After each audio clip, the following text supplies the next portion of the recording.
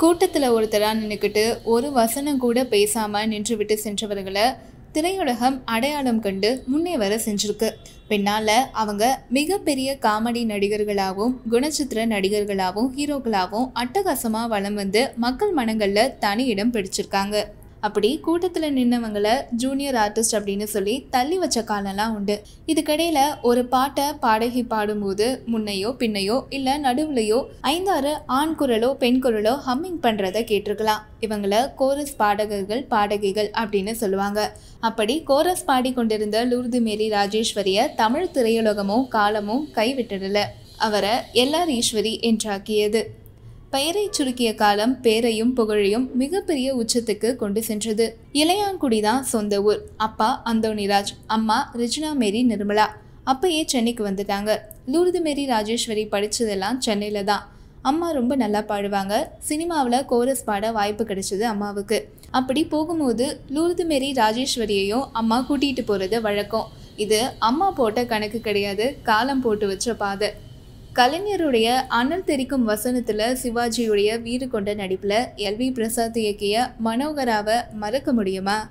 S we Venkatraman இசையமைச்சாரு பொறுத்தது போதும் பொங்கி எழு மனோகரா அப்படின்னு கண்ணாம்பா வசனம் பேச அது இன்னை வரைக்குமே ஹிட் அடிச்சிருக்கு. அப்படிதான் அன்னைக்கு கோரஸ் பாட வேண்டியவர்களில் ஒரு பெண் வரலை. எஸ்பி வெங்கட்ராமன் சிறுமியாக நின்றுட்டு இருந்த லூர்து மேரியை பாட வச்சாரு. எல்லாரும் பாட இவருடைய குரலும் அதில் கலந்து வந்துச்சு. இன்ப நாளிலே இதயம் பாடுதே அப்படிங்கிற பாடலில் வர ஹம்மிங்கில் இவருடைய குரலும் பத்தோடு பதினொன்னா கலந்து கட்டி வந்திருக்கும். இதுக்கப்புறம் கோரஸ் பாடகி அப்படிங்கிற முத்திரை கிடைச்சிது. நிறைய படங்களுக்கு பாடல்களுக்கு கோரஸ் பாடினாங்க. ஆயிரத்தி தொள்ளாயிரத்தி ஐம்பத்தி எட்டாம் ஆண்டு இயக்குனர் ஏ பி நாகராஜனும் நடிகர் வி கே ராமசாமியும் இணைஞ்சு நல்ல இடத்து சம்பந்தம் படத்தை தயாரிச்சாங்க. இந்த படத்துல லூர்து மேரிய கூப்பிட்ட ஏ பி நாகராஜன் இந்த படத்துல தனி பாடல் பாடணும் மாமா கிட்ட சொல்லிட்டேன். இனிமே நீ லூர்து மேரி ராஜேஸ்வரி கிடையாது. எல்லார் ஈஸ்வரி அப்படின்னு பெயர் சூட்டி பாட வச்சாரு. இவரே தான் அவர் அவரே தான் இவர். துக்கத்திலும் சிரிக்கணும் அப்படிங்கிற பாடல்களை பாடினாங்க ஈஸ்வரி. அடுத்தடுத்து நல்ல நல்ல சம்பந்தங்கள் தொடர்ந்துச்சு. துக்கம் போய் சந்தோஷங்கள் நிறைஞ்சது பல பாடல்களை பாடிட்டு வந்தாங்க. அண்ணன் தங்கைக்கு உதாரண படமாக திகழக்கூடிய பாசமலர் படத்தில் இவங்க பாடிய பாடல் எல்லார் ஈஸ்வரிய புகழுடைய உச்சிக்கே கொண்டு போச்சு. திருமண வீடுகளில் இன்றைக்கும் இவருடைய குரலில் வாராயோ தொழி வாராயோ அப்படின்னு மணமகளை அழைச்சிக்கிட்டே இருக்கு. மலராத பெண்மை மலரும் முன்பு தெரியாத உண்மை தெரியும் மயங்காத கண்கள் மயங்கும் முன்பு விளங்காத கேள்வி விளங்கும். இரவோடு நெஞ்சம் உருகாதோ? இரண்டோடு மூன்று வளராதோ? இரவோடு நெஞ்சம் உருகாதோ? என்று வார்த்தைகளுக்கு தேன் தடவி காதல் தடவி நாணம் தடவி பாடினாங்க ஈஸ்வரி. மெல்லிசை மன்னர்கள் இசையமைத்து பாடல் இது.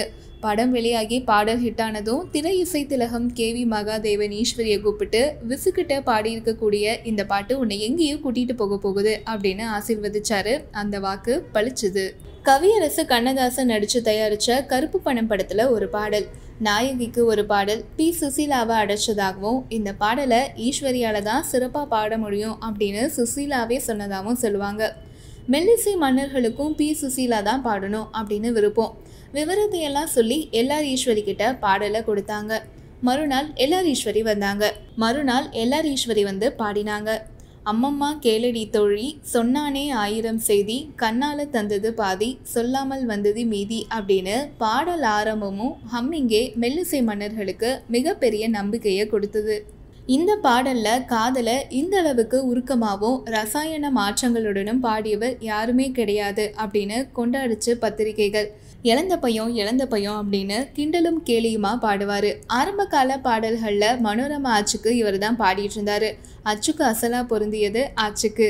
அவருக்கு மட்டும் இல்லாமல் கதைக்கு தேவையான கணத்தை ஒரு பாடல் கொடுக்கணும். அந்த பாடலுடைய கணத்தை ஈஸ்வரியுடைய மாயாஜால குரல் கொடுத்துடும். முத்து குளிக்க வாரிகளா மூச்சை அடைக்க வாரிகளா சிப்பி எடுப்போமா மாமா மாமா சொந்தம் சொந்தமில்லையோ? இந்த பாடலை கேட்டு அந்த பாடலை பாட ஆசைப்படக்கூடிய ஜித்து வேலைகளை டிஎம்எஸோட இணைஞ்சு ஈஸ்வரியம்மா ஜாலம் பண்ணியிருப்பாங்க. ஆளான பொண்ணுக பாக்கு வைக்கும் முன்னமே என்னவென்னு சொல்லுவாக? இந்த மாதிரியான பாடல்களில் கிறங்கடிச்சிருவாங்க எல்லார் ஈஸ்வரி. நாகேஷுக்கும் மனோரமாவுக்கும் அப்படி பொருந்தி போன பாடல் இது. துள்ளுவதோ இளமை தேடுவதோ தனிமை அள்ளுவதே திறமை அத்தனையும் புதுமை அப்படிங்கிற பாடலில் நம்மையும் சேர்த்து துள்ள வச்சிருவாங்க ஈஸ்வரி. தரிசனம் அப்படிங்கிற படம் ஞாபகம் இருக்கா? ஆனால் படத்துடைய பாடல் என்னென்னைக்குமே ஞாபகத்தில் இருக்கும். இது மாலை நேரத்து மயக்கம் பூமாலை போல் உடல் மணக்கும் இதழ் மேலே இதழ் மோதும் அந்த இன்பம் தோன்றுது எனக்கும் அப்படின்னு எல்லார் ஈஸ்வரி ஆரம்பித்து வைப்பார். இதெல்லாம் கூடாது அப்படின்னு டிஎம்எஸ் மறுத்து பாடுவார். அதுக்கு பதிலடியாக ஈஸ்வரி பனியும் நிலவும் பொழியும் நேரம் மடியில் சாய்ந்தால் என்ன? பசும்பாலை போலே மேனி எங்கும் பழகி பார்த்தால் என்ன? உடலும் உடலும் சேரும் வாழ்வை உலகம் மறந்தால் என்ன? இப்படி பதிலுக்கு பதில் ரெண்டு பேருமே பாடிட்டே இருப்பாங்க.